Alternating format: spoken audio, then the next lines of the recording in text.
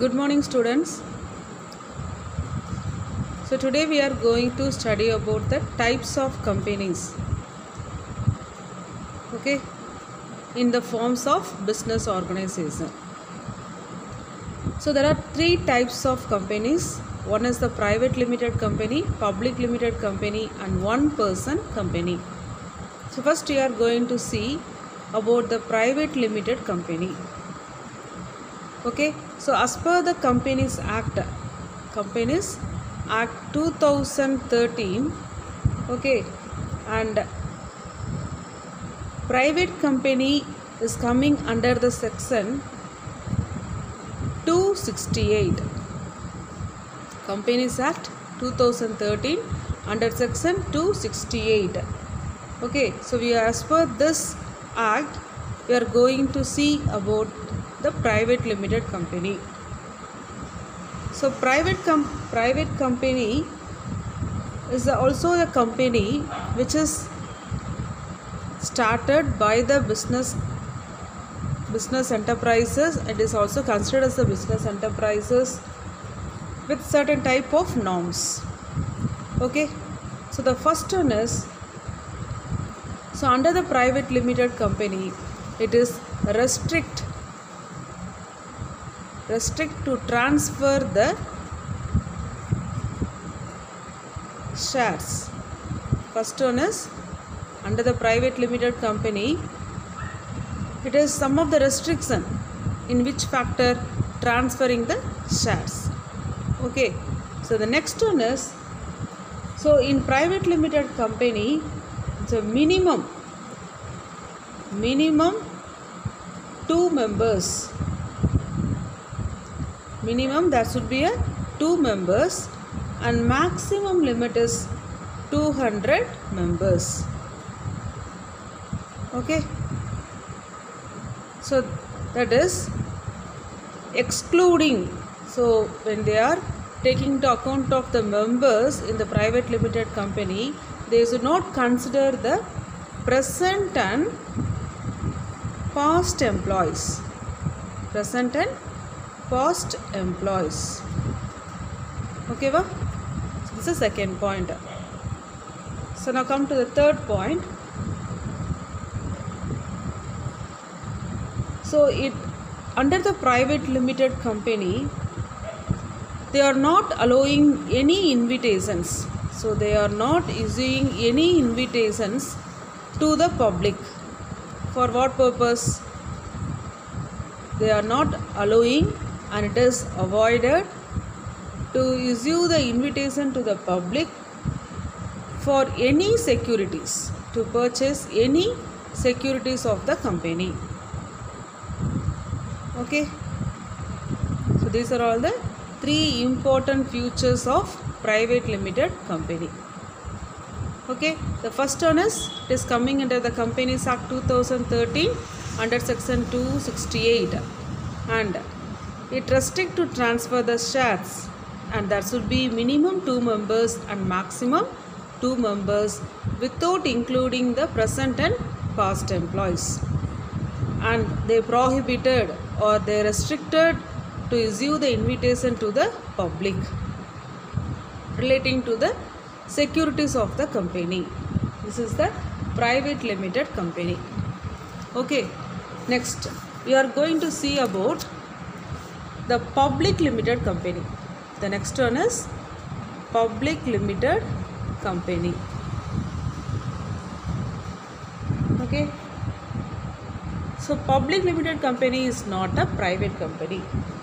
So as per the companies act as per the companies act there is also certain features in the public limited company. So in public limited company there is a minimum how many members? Seven members. Minimum that should be seven members and maximum no limit. There is no limit for the maximum number of members. Okay? Next. And there is no restrictions. And there is no restrictions in the factor of transferring the securities okay. Next third point. And they also no restrictions in inviting the public related to the shares or securities of the company. So these are all the futures of public limited company. Okay and private limited company that is a private company which is the subsidiary of public company is also treated as the public company. Okay so private company which is subsidiary which is subsidiary of private company private company acting as a subsidiary for public company is also considered as the public company. Okay. And next one is so the public limited company has some of the limited factors. Limited factors. Okay. So next we are going to see what are all the limited factors of public limited company. So the first one is company limited by company limited by guarantee. Company limited by guarantee. It means the company having the liability of its members. So in this that is the company limited by the guarantee in this factor the liability of the member the liabilities of the members is limited by the memorandum. What is my memorandum? So when the company is starting means they are uh, they, they are uh, uh, that is at that time they have to prepare the memorandum of association. That is one of the regulations. What are all the norms and regulations is in this memorandum it contains all the norms and regulations of that particular company okay so the liability of the member is listed in memorandum of company. So in this memorandum of the company it will be listed that is how much amount is limited to the members. Okay ma limited to the members so up to the limit they can undertake their limit.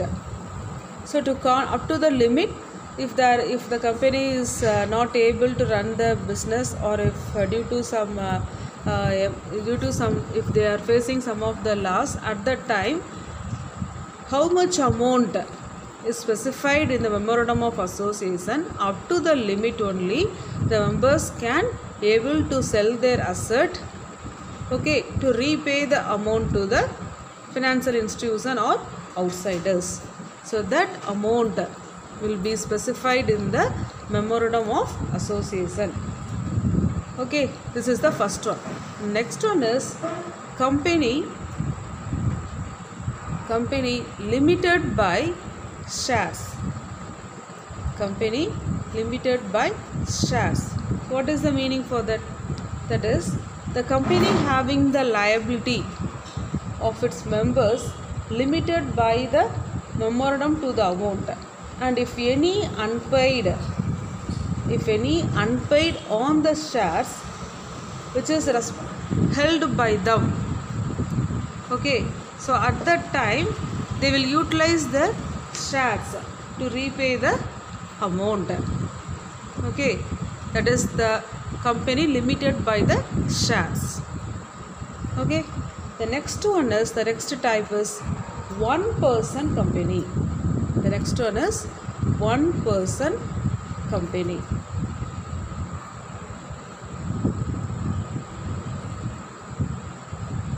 Okay? So what is the regulations of one person company? So in 2013 act a new type of entity to the existing list that is apart from forming the public limited company or private limited company the new type of entity that is the business under the act 2013 this act enables the formation of the new entity that is called as opc opc that is one person company. So what is my one person company? It means a company with only one person as a member. Only one person. Only one person as its members.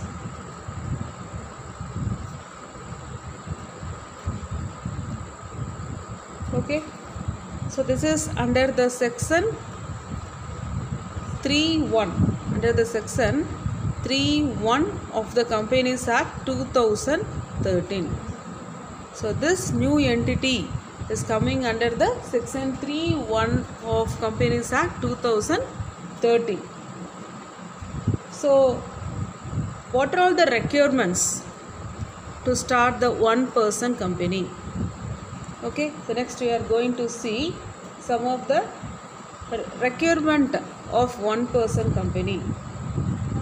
So in this the first one is the person should be an indian citizen. The person should be an indian citizen. Okay and his residence should be in india and no person shall be eligible to incorporate more than one OPC or become the nominee in more than one company. Okay, so these are all the restrictions, some of the restrictions under the one person company. Okay, so no person shall be eligible to incorporate in more than, so there should be a one person, only one company they are they are giving the permission to start the only one company that is the one person company. So that person is not having any right to start another company as a one person company. Okay. So opc is compulsory to compulsory convert itself into the public or private company in certain cases. So they has they are having the right to convert their OPC, that is a one person company, into the private or public company. Okay, va? So, when the paid up ca- share capital, so what is the condition? What is the condition and when they can able to convert the OPC into the private or public company? So, that is a condition. What is the condition? That is when the paid up capital paid up share capital. You will study detail in the accounts. What is you already know that is the what is base share capital. The amount of capital which is invested by the shareholders to the company is called the share capital. So what is the paid up share capital? So for example the company is using the shares to the public and some of the person is coming forward and they are paying the amount for example if they are uh, uh, ready to purchase thousand shares the company is uh, receiving thousand shares at rupees 10 each. What is the meaning? For rupees 10 for one share. Okay this is the in this way they are receiving the shares to the public. And some of the shareholders are coming forward to purchase the shares. And this 10 rupees is received by the company in different forms. When on the basis of application on the basis of allotment on the basis of first call and second call and final call. Okay? So they will split the 10 rupees into for example application 2 rupee allotment 2 rupee so there is a time between the each amount when they are receiving the application amount after one month or 15 days they will receive the allotment amount So that is the paid up share capital which is paid by the shareholders to the company. Okay, so in this procedure they will receive the share cap. They will raise the share capital from the public. So when the paid up share capital of OPC, one person company, exceeds 50 lakhs rupee, if it is more than 50 lakhs, or its average annual turnover, average, okay, va? average annual turnover means that is the income. By means of selling the shares, they will receive the income that is the turnover that is the income. During the relevant period during the particular period if it exceeds 2 crore rupee so it shall cease to be entitled to continue the one person company. So what is the condition? When the share paid up share capital exceeds is more than 50 lakhs okay va? or an average turnover average annual turnover is exceeds 2 crore rupee then it is they are fully uh, they are getting the full rights to run the one person company so these are all the some of the futures and some of the restrictions for the member to become the person or to run the one person company. Okay? So today we studied about types of company. The first one is private limited company public limited company and one person company. Okay? So next we are going to see what are all the benefits of private limited company over the public limited company what are all the benefits of private limited company over the public limited company? Okay? Thank you students